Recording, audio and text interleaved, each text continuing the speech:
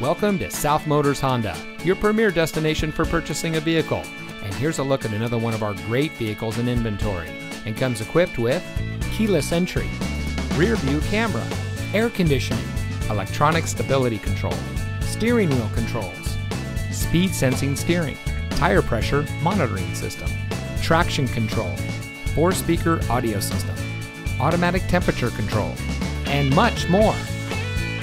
South Motors was founded in 1956 on one principle treat every client like family.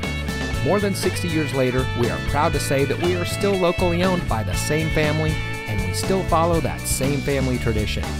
Our fully transparent shopping experience delivers the best up front, along with a complete vehicle history. And for additional peace of mind, we also offer a three day exchange policy and a financing program custom tailored to you. So come join the family. We're located at 16165 South Dixie Highway in Miami.